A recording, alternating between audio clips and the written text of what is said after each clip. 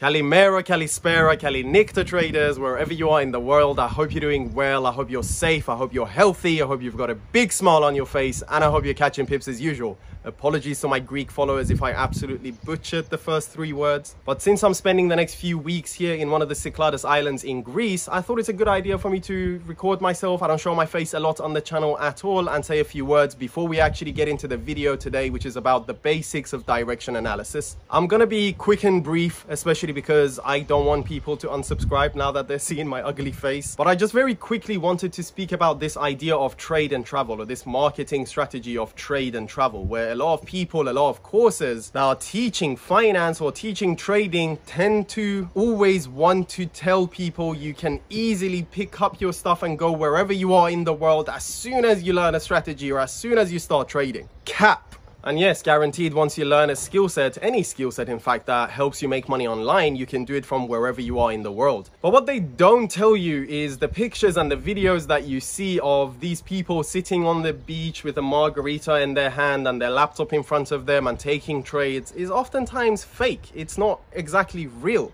They're not entirely real traders. Now, I made a promise to myself and to you guys to share the truth about the industry, hashtag freedom of information, as you've seen already. That's why I'm elaborating a little bit more about this idea of trade and travel. What they don't tell you is that it takes time for you to get used to a new time zone. I've been trading from London for a good few years now. I'm four and a half years in my journey. Every single day of that has been in London. So for me to now completely go to a different country, spend a few months there, I have to first get used to their time zone, then allow my daily schedule to get in tune with that. All of these factors can affect my trading, especially in an industry where it's a game of probabilities, where we are already at a disadvantage. When you change the tiniest factors in your day-to-day -day routine and in your life, it can have a major impact on your trading. So can you pick up your stuff and go and trade and travel? Of course you can. But what they don't tell you is that it takes time for you to get used to the new time zone. It takes even longer than that for you to be comfortable with your strategy, with your trading style. And it's definitely not something that you can just pick up and do instantly where you are taking signals and you can go wherever you want in the world and take these signals or you learn a quick little strategy that can catch you 20 pips a day and you can now sit on the beach or wherever you want in the world and use that strategy to make money. It doesn't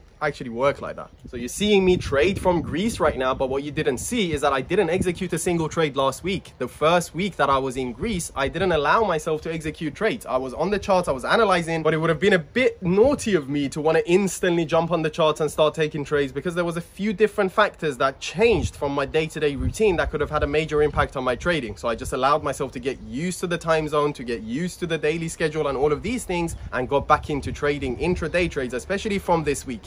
And guaranteed I was lucky enough to take a monstrous trade on GBP USD about two, three weeks before I came to Greece, which I'm still in. It's actually a, uh, been extended into a swing position. It has officially marked the best trade of my career, the highest risk reward that I have ever executed. I'm pretty sure I'm going to record a detailed video about this later. So that made it slightly easier for me to be able to take a step away from the chart and actually allow myself to enjoy the first week here and allow myself to get used to the different time zones. But anyway, I don't want to just keep repeating myself. I just very quickly wanted to perhaps debunk this myth of trade and travel. Can you travel the world once you learn the skill set well, once you start to make money, once you especially know a currency pair well? Of course, it's something that you can do.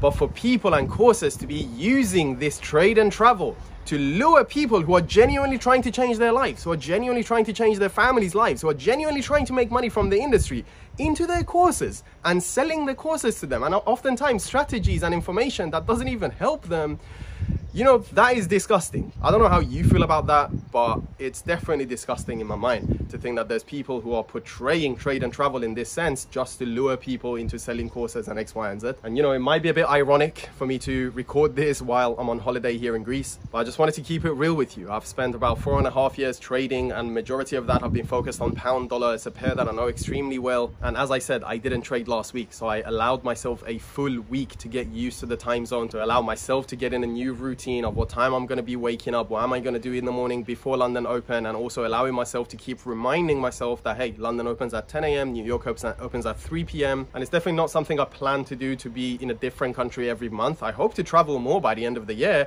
but it's still going to take me around a week or two to get used to the new time zones, to get used to my own daily schedule based on that time zone. And I have to allow myself that time to not allow it to affect my trading. And these are the factors that they don't tell you when they shove trade and travel in your face. So yeah, hashtag freedom of information, hashtag stop the cap in this industry. I just wanted to say a quick couple words about it. Of course, you can travel the world once you learn trading well. Of course, you can travel the world once you start to make money from the industry, but it's not as easy as they portray it to be for you to just learn a quick strategy or take signals from wherever you are in the world and start to make money from it. Anyway, I think I've spoken enough. Let's actually get into the video. We're to go through some basics of direction analysis, some do's and don'ts, but emphasis being on the word basics of direction analysis because direction analysis is something that's different for person to person. And to be honest, it's not actually what a lot of people struggle with as far as I know. You know, a lot of people are good at analyzing the direction, but it's the entries that they get in trouble. But there's a few important key factors to mention for direction analysis, which you're gonna see in a second. And at the end of the video, you're gonna see a one to 10 GBP USD trade breakdown. So yeah, I hope you enjoy it. Let's jump straight into it.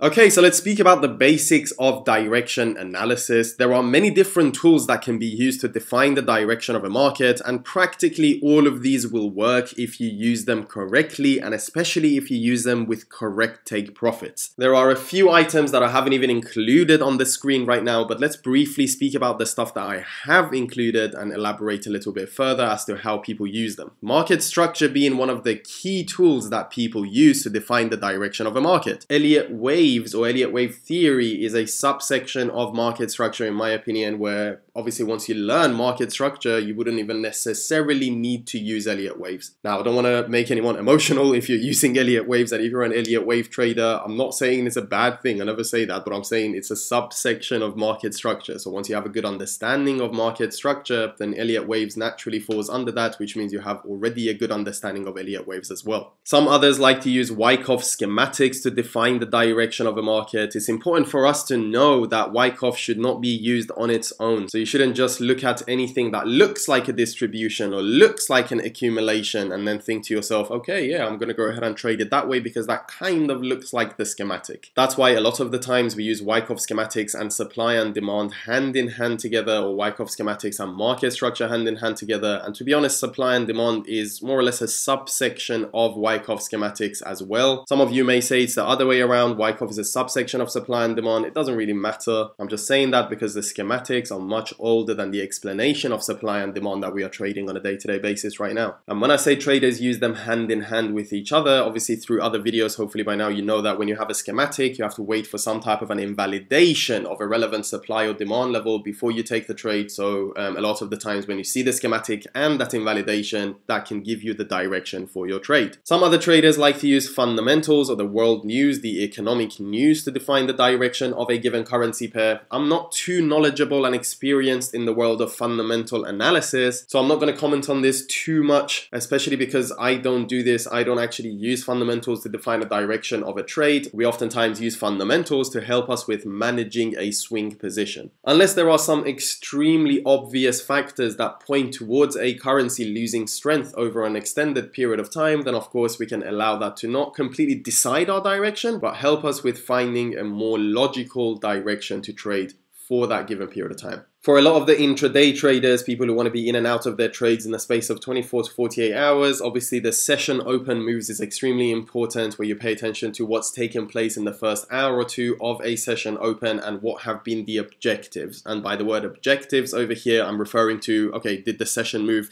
manipulate a certain level? Did it mitigate a certain level? Did it create liquidity? Did it create schematics? Did it accumulate or distribute? What has it actually done? And it's important to note that that should be used alongside alongside other confirmations. So it's not enough for you to just see London session open and sponsored the price up with what looks like an accumulation and then you go ahead and instantly buy it at that accumulation. There has to be a couple other steps of your analysis, a couple other confirmations depending on the strategies that you use. But oftentimes the session open moves and what takes place in the first hour or two tends to give us a good idea of the direction that we can trade for that given day. Now, before I even speak about these two items, and I would imagine some of you are confused as to why I have written these on the screen right now, I like to make this distinction between use of indicators or, you know, Fibonacci and market patterns and retail concepts for direction analysis versus for entries. I am heavily against using these things to find your entries when it comes to indicators or when it comes to Fibonacci, market patterns, all of these things. I'm not saying they don't work. Of course, they can with good risk management, etc., etc. But oftentimes, they're not going to give you decent entries. And not only that, oftentimes the entries that they give are going to be manipulated before the market goes in that direction. But some of the indicators, some of the patterns, or even Fibonacci levels can actually be used to find the direction of that market for the period of time that you're looking to trade. For example, when I was trading retail concepts, I was indeed using a lot of these to find the direction of the market. And a lot of the times it would work out. You would oftentimes be on the right side of the direction, but because you were using the same concepts for entries, every single time you were just being manipulated out before the market went in your favor. Do I use these right now to analyze direction or do I use them at all in my trading? The answer is no. I do not include them in my analysis. I do not include them in my trading at all, but I just wanted to put them on the screen just in case some of you are used to using them, some of you are comfortable with using them, and through your own journey of backtesting and trading, you have found that it's actually useful for finding direction. I just wanted to make that distinction between using them for direction analysis versus for entries. They could be very useful for direction analysis, but for entries, Probably not. And to be honest, the end goal is to not have to use any indicators or anything like that and know the direction and the entries just based on price action alone. Now, before we go any further, remember that this is a game of probabilities. I'm sorry if you hate mathematics, I'm sorry if you hate statistics and probabilities, but it is what it is. That's just the truth of the market. I'm not saying you need to be a great mathematician for you to be a successful trader. Guaranteed that analytical mind will help you, but what I am trying to say is ignoring what a mathematical market this is, ignoring what a probability based market this is, will reduce your chances of success. So 50% accuracy is amazing. I'm gonna repeat this in literally every single video until it's internalized. 50% accuracy is phenomenal, which means if you have 50% accuracy with good risk to rewards, be happy. Some weeks you'll close with less winning trades and some with more, but 50% accuracy, if you have reached that throughout the trading week or a month,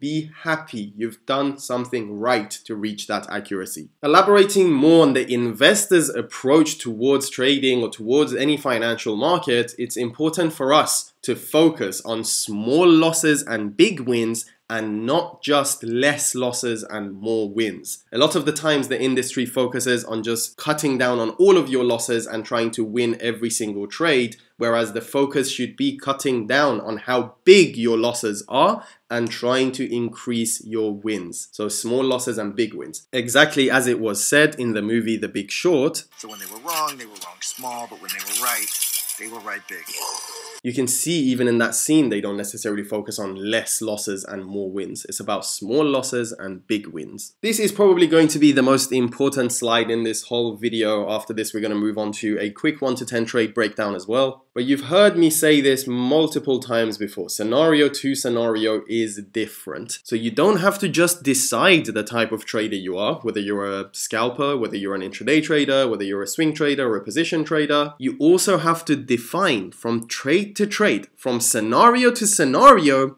how long you want to be staying in that specific trade. Think of it like this. The term intraday, intra, intra means within, within a day. So within a day, when you're intraday trading, that means you're practically in and out of your trade within the same day. But that's quite vague because that could be a matter of a couple of hours to all the way up to 24 hours. And a lot can happen in those extra few hours. You can be in a trade that goes maybe 10, 20, 30, 40 pips in a matter of a few hours. But if you stay in the same trade for around 24 hours, you know, that trade can go 50, 60, 70, 100 pips. And it can literally be a whole different range you're trading. You can break another structure structure, you can go and mitigate somewhere else. There's so much that can happen. So it's not enough for us to just know what type of trader we are. We also have to pay attention to that specific scenario that we are trading for that day and know how long we want to be in that specific trade. This is more so moving towards a take profit analysis as I was talking earlier, where you can be correct about the direction of the market if you're correct about where you want to get out of the market. As an example, just looking at this thing that I have drawn here, you have technically three different ranges that you're trading. The blue trend, bigger time frame, orange, medium time frame,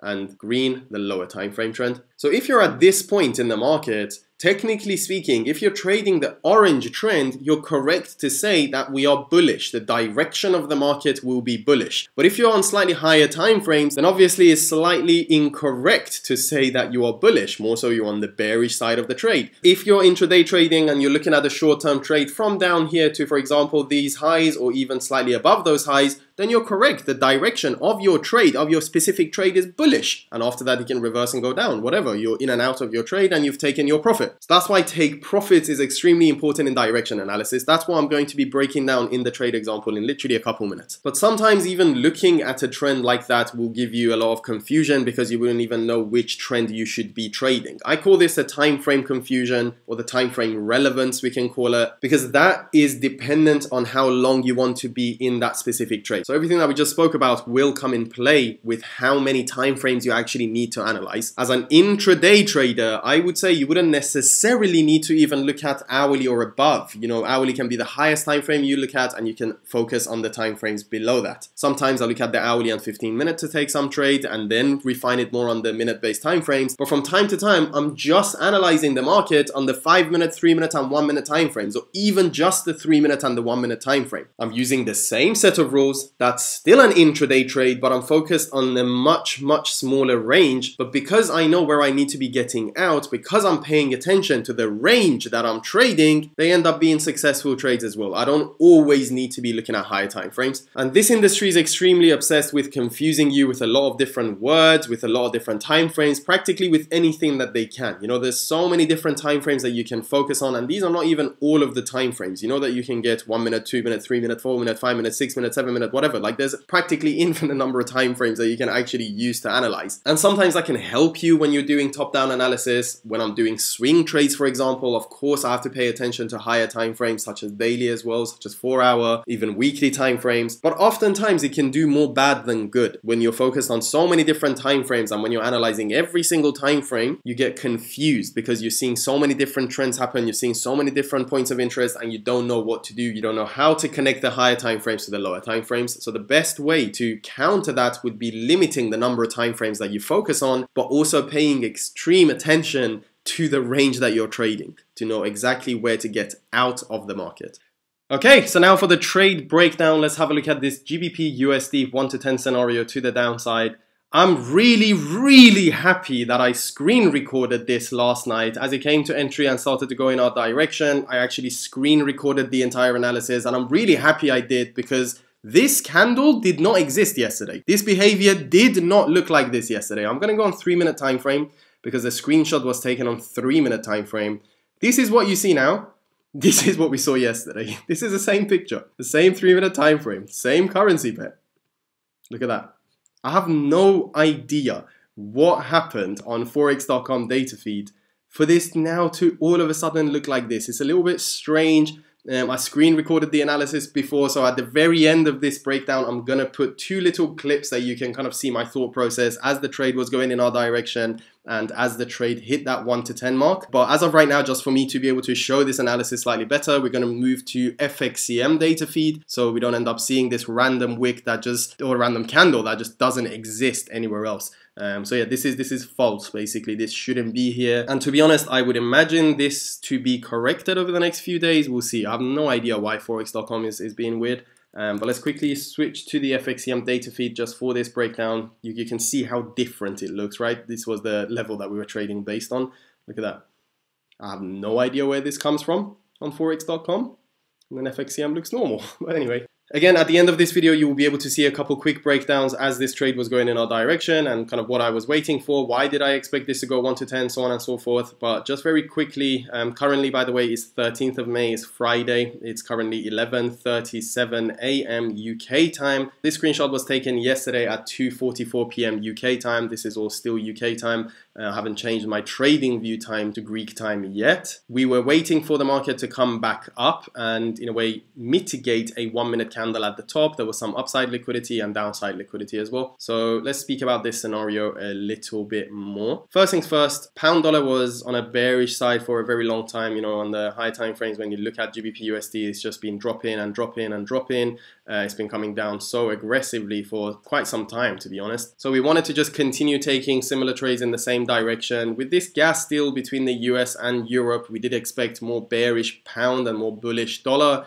and then that was accompanied by the local elections, which um, added more uncertainty to the UK economy, rise of cost of living, all of these things, all of these factors were just pointing towards a bearish pound. And even the technicals behind it was pretty easy to analyze and see kind of what was taking place and what we can trade based on. First things first, we were coming off the mitigation of an Asian supply. So there was an Asian supply, this was Asian Open. First, it pushed the price down, came back up, gave a small distribution that started to sponsor the price below, mitigations of that that started to sponsor the price below. So there was a level of supply at the top of that range. So as this market came back up and mitigated that Asian supply again, I started to have a look at potential sell positions to see if it's um, you know likely for us to be able to get in some sell positions. Before I go into the breakdown properly, by the way, if you pay attention to this video right now, you don't even necessarily have to look at the next two clips that I'm gonna add at the very end of this, simply because I'm gonna just repeat myself in those in those two clips. I just wanted to add those two clips at the end of this analysis, so you see me kind of analyze live, I suppose, and just my live thought process and also for you to be able to see the forex.com data feed yesterday and how different it looked. But when we spoke about direction analysis, the technical aspects of it and all of these things, we were speaking about knowing the range that you trade and the technical side of things and the take profit aspect of things. So there was two possible entries to take when it comes to the mitigation of that one minute candle. You can consider this the first mitigation of that one minute candle and a small distribution looking behavior. The trade that I got in was over here, was a secondary mitigation of that candle. And there's a very good reason for that as well.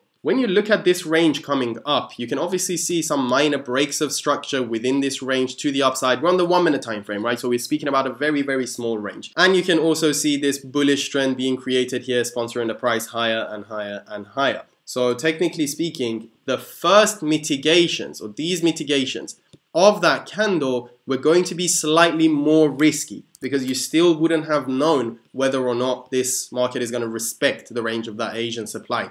If the market is going to just blow past it, you know, reaccumulate again and go, or if it's going to respect it. And at that time, we still hadn't seen an element of proof, a break of structure to the downside or invalidation of a level of demand. You might argue with me and say, oh, hang on, Pips, there is this rally, base rally over here that the market invalidated which means the mitigations of that candle after that would have been valid entries. I don't argue with you. Yes, there was a rally base rally there. Yes, that rally base rally was invalidated. And yes, you could have traded the first mitigations of that candle. But this is where having a take profits in mind is extremely important and knowing the range that you trade. You are now trading based on a very, very low time frame break of structure, which means you cannot extend your take profits from here all the way down to these lows. Because that BOS over there does not dictate the market coming all the way down there. What this BOS in itself dictates is that the market is just going to go to the next level of demand. And when you pay attention to this whole range, you can see that level of demand, that rally-base rally that was created, it wasn't, you know, important at all. We started to see the sponsorship of the price above from these levels, from these levels up. So what was the significance of that rally-base rally? What did it actually do? It didn't do anything specific for me to think to myself, oh yes, that demand has been invalidated and therefore the price can be extended all the way down. And guaranteed, if you took trades here with your stops above, you would have eventually successfully been able to get yourself out of the trade if you didn't break it even as it came down there. If you did break it even, then yeah, that would have been a broken even trade and then the market would have gone in your direction. So speaking of take profits and the range that you're trading, if you were trading based on this invalidation, your take profit should have been here. So you're not wrong in your direction, but you were wrong in the take profits. You should have gotten out of the trade at these levels because it's invalidated the first level of demand. You look lower. Where is the next valid level of demand? You can see a whole rally base rally over here. You can see this candle in the middle that actually manipulated up, manipulated down, sponsored the price above. So technically speaking, as it started to approach these candles, you should have been looking to get out of the trade and you were completely correct in the direction for it to be bearish for your specific trade. This is why I emphasized earlier saying for your specific trade. Whereas instead of all of this, what I just waited for is to see if we are going to invalidate some more relevant levels of demand, such as this one that we were talking about. So once it started to reach below it and invalidate these levels to the downside, then it was a bit clearer that we can potentially trade the next mitigation of that candle. And there was some upside liquidity. There was this trendline liquidity being created. So, you know, it gave me confidence to know the institutions are creating liquidity and in the process of mitigation of that candle, they will be manipulating that liquidity. This trade ended up being a successful trade all the way to the downside for a 1 to 10 scenario. Once it hit 1 to 10, I took a lot of positions off the table, kept some positions open overnight, which in hindsight, I shouldn't have because as this came back down and went to 1 to 10 again, let me just switch back to um, forex.com.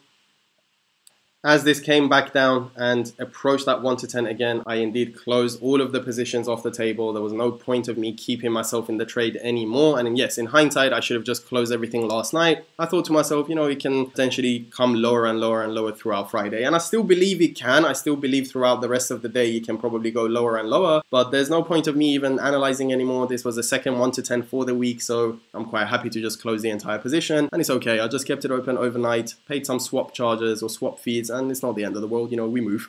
So let's go back to FXCM just to summarize this very quickly. This is what I meant when I said paying attention to the range that you're trading. So direction analysis goes hand in hand with take profit analysis is what I'm trying to say. And if you're struggling with that, I did record a video on intraday trade management. Uh, I'll actually link it in the description. Just check the description and it will be there. But direction analysis goes hand in hand with TP analysis and with technical analysis, obviously. So you can always be correct in your direction. But if you don't know where to get out, every single time it's as if you have gotten the direction wrong. Imagine getting in over here, riding this to the downside, you're correct in the direction because you didn't get out or because you didn't pay attention to other factors and broke it even early, you wouldn't have been able to profit off of this trade. So this trade, although you were correct on the direction, he would have ended up being a losing trade. I hope that kind of made sense what I um, was talking about regarding direction analysis going hand in hand with TP analysis. I hope this breakdown made sense. As I said, just after this, there will be two clips showing um, kind of my live thought processes, I suppose, as I was executing this trade. And by now, hopefully somewhere on the screen, you've seen the MT4 screenshots and all of these things as well. I'll also be linking this screenshot in the description below, so check it out for yourself and go back test it in your time. But I hope this video was valuable. I hope now you have a good understanding of trade and travel, which is what we spoke about at the start of the video, basics of direction analysis, tools that you can use or you should use. And I hope with this breakdown, you get a good idea of why take profit analysis is extremely important for direction analysis. But with that being said, if you got value from the video, make sure to press the like button down below. And please subscribe to the channel if you're new. We just hit 50,000 subscribers. I love and appreciate every single one of you. Road to 100k starts now. Freedom of information. So with that being said, let's elevate and let's catch some pips. Okay, so I just wanted to quickly record a video on this trade instead of just taking another screenshot. Um, I am currently in this position at 1.22415 mark with the stop loss at 1.22480. This was a screenshot before that was taken a few hours ago. Um, I'm probably going to record a much more detailed breakdown once this trade actually hits that 1 to 10 mark or above and once we start to take positions off the table.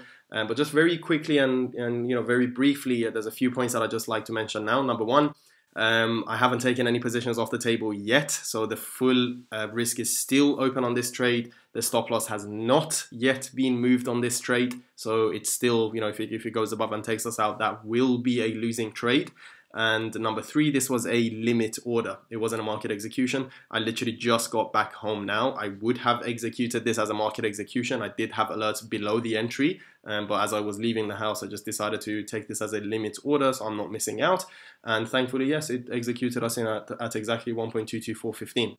So just very quickly, you can see downside liquidity on this trend line over here. You can also see some upside liquidity in this trend line. So your typical, you know, quote unquote pennant formation or triangle formation or whatever, whatever you want to call it was forming here. But generally the way that we're looking at it is we had downside liquidity on this trend line and upside liquidity. So if there was any unmitigated areas at the top, it, you know, could have been very good entry opportunities because that would have been a manipulation of that trend line to the upside and mitigation of certain levels. There was this one minute candle at the top of the range, as you can see over there which is what we based our trades on, which is what we based our entries on and the stop loss on.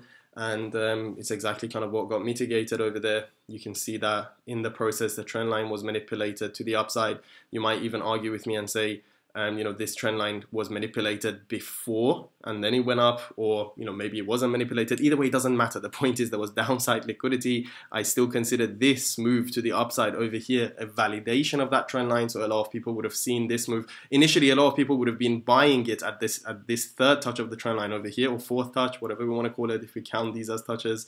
Um, and then getting caught out and when they see the push back up they would have gotten back in their buy positions only for this to come back up, manipulate some of these highs over here, manipulate that trend line, mitigate that one minute candle and start to go down.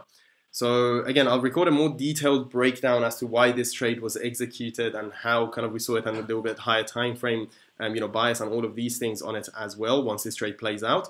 But I just quickly want to speak about entries around these marks over here. These entries would have been extremely risky entries. So unless you are trading mitigation of a previous level of supply and um, then you're seeing a relevant break of structure and then getting in after, then obviously, you know, if, if that was the thought process and fair enough, that would have been a good entry. But the point is we we can potentially consider this a mitigation of that supply over there, of that Asian supply.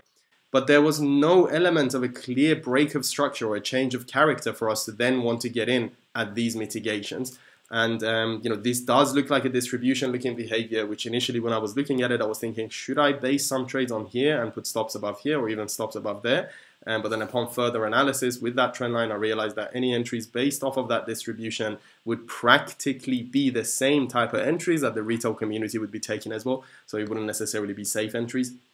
Anyway, I just quickly wanted to um, you know record a video instead of just a screenshot to just update this and this has gone a 1 to 8 but again as I said no positions have been taken off the table yet. The risk is still there. I haven't even broken this trade even and I am pretty confident that this will give us the 1 to 10 if not more.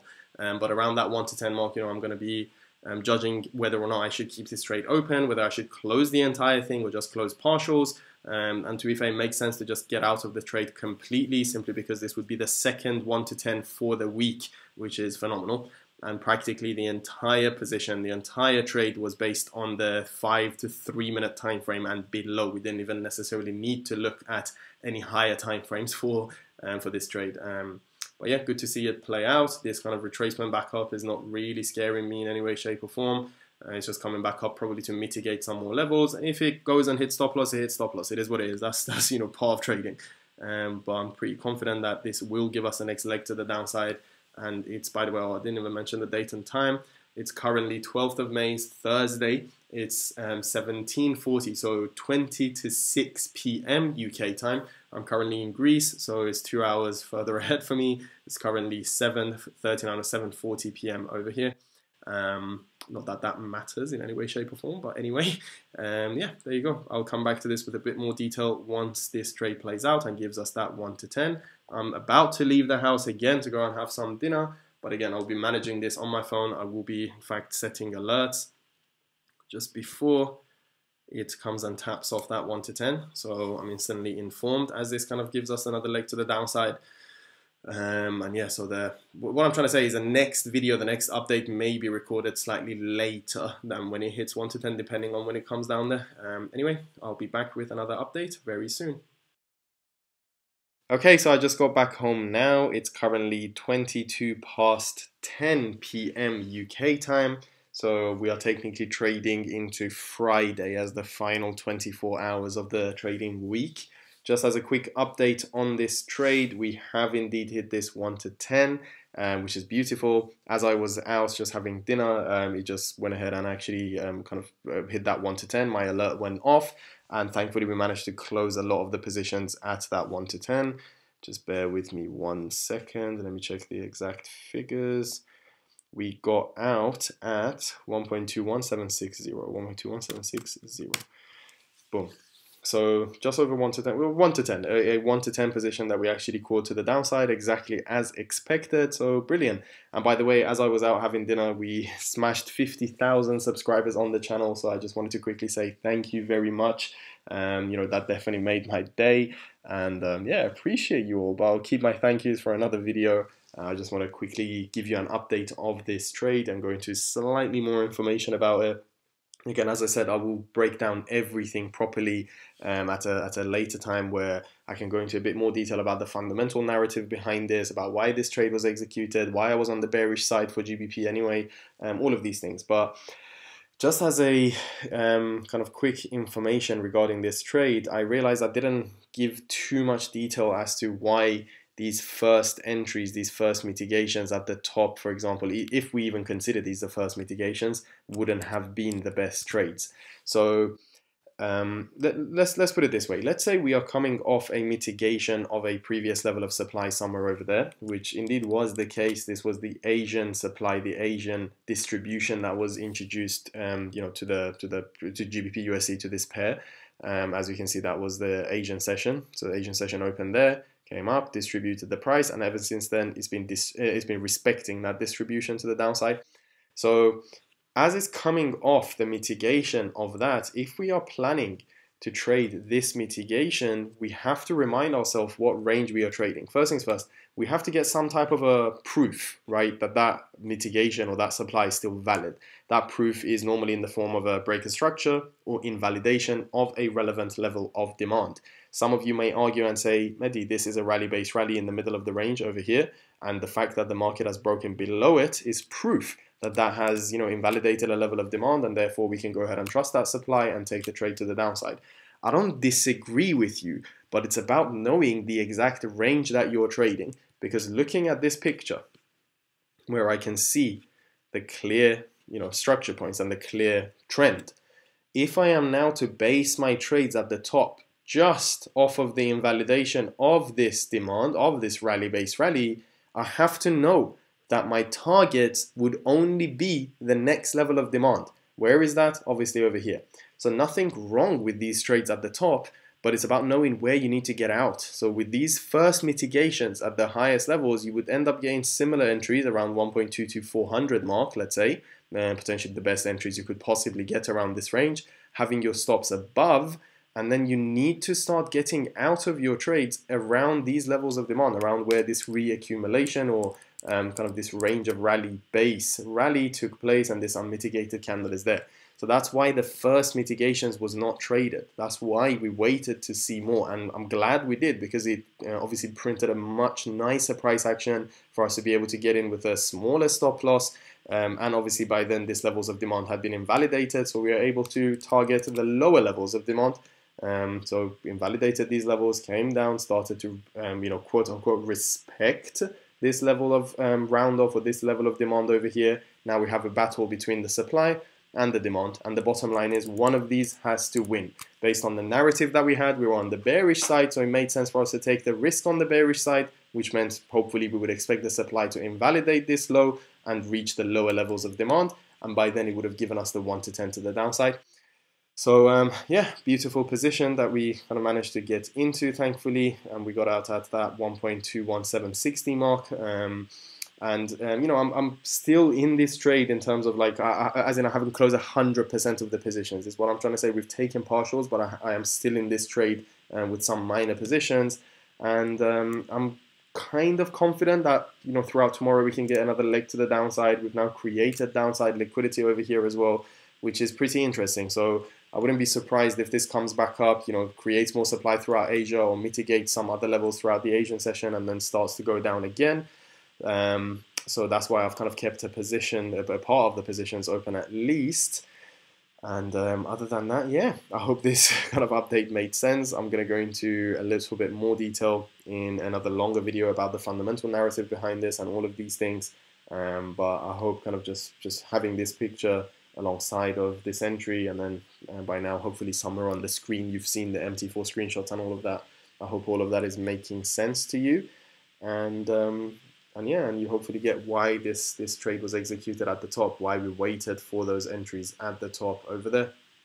I believe in the previous clip I did give some information about why um, I wasn't necessarily looking at taking trades based on these levels. Not that it would have been wrong. No, we could have still taken trades based off of this kind of, let's say, distribution in the middle of the range.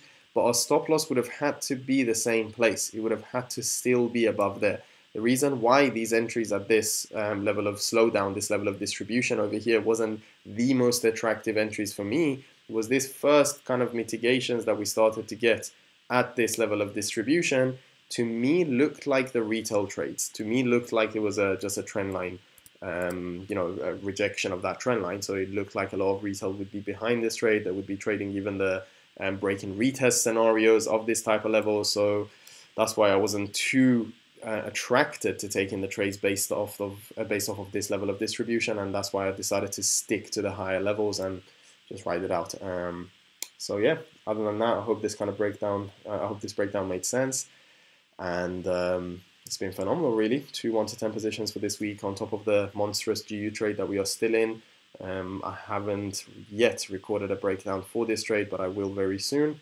I hope this trade made sense. It was a matter of what two, three hours that we managed to get in and out of that trade, which is brilliant to be able to uh, catch these type of risk rewards um, within a limited number of hours. And it just goes to show what's possible.